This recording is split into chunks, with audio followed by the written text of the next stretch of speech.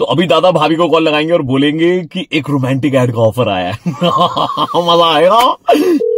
Hello hello एक तो हाँ। खुशखबरी है। हमको एक तो एड में चांस मिल गया।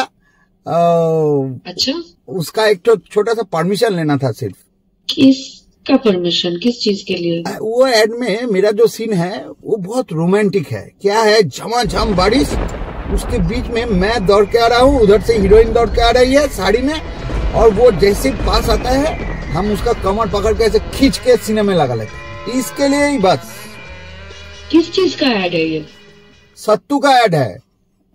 वो क्या है? सत्तू पी के हम पूरा एकदम स्ट्रांग हो गया फिट हो गया इसलिए हीरोइन अट्रैक्टेड हो गया। अच्छा। तुम ना बोल दो। नहीं मतलब एक ही दिन का शूट है तो मतलब जाएगा सुबह शाम को वापस। ना बोल दो। नहीं अच्छा एक्सपोजर मिलेगा ये बहुत बड़ा डायरेक्टर है एड बनाएगा। हम्म, ना बोल दो। नहीं मैं मैं बोलू एक बात वो ना पैसा भी अच्छा दे रहा है। तीन चार लाख तो आएगा ही। ना बोल दो।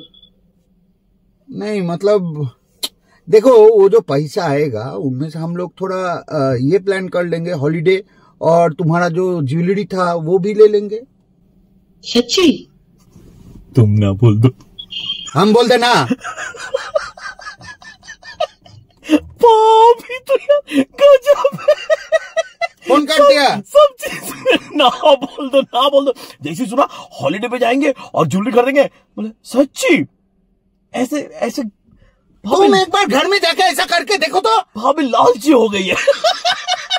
तुम घर में जगह हमको हमको क्या फेस करना पड़ेगा? इसके बाद तुम नहीं सोचता है। ये तो चला जाएगा। ये आपका मुकद्दर में लिखा हुआ है।